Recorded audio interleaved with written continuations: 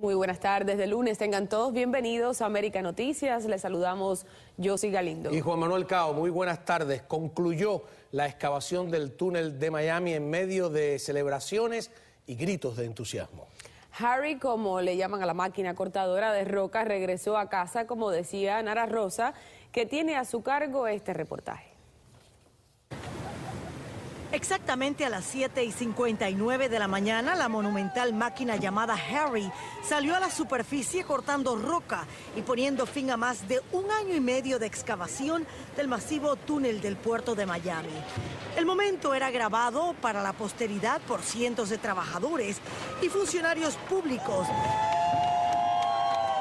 pudieron contener su emoción al ver asomarse la cabeza circular de la cortadora por la segunda vía de acceso del túnel. Es un, un momento emocionante. lo que pasa es que aquí ya dice, wow, se acabó esto por fin. Ahora salió del otro lado. Buenísimo, buenísimo. Los gritos de los trabajadores se fundieron con la nube de polvo que se levantó hacia el cielo. Lo veo bien coloradito, o sea, han sido dos años arduos, me imagino, y... Bastante duro. Sí. Bastante. Pero ha valido la pena, ¿qué significa ver a Harry salir por el otro lado? Todos, todos. Estamos muy orgullosos. Más de 500 trabajadores vinculados directamente a la excavación del túnel están celebrando hoy por su labor cumplida y la posibilidad de haber mantenido a sus familias. La economía, como estaba muy mal, no había trabajo, ahora sí tenemos trabajo.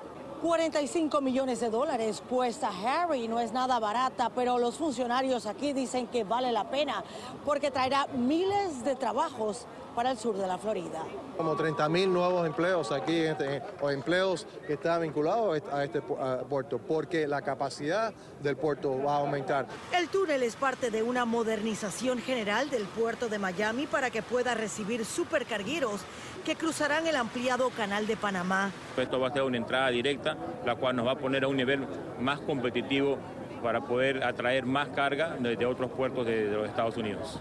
El año que viene comenzará el dragado del puerto, pero antes faltan unos pocos detalles para que el gran túnel esté listo para el tráfico. La culminación de los túneles que conectan, los, los, los, túneles pequeños que conectan estos dos túneles, como también la construcción de las carreteras, lo que es la parte de la carretera dentro de los túneles. Los ingenieros afirman que si todo marcha como va, el proyecto estará terminado en mayo del 2014. Nara Rosa, América Noticias.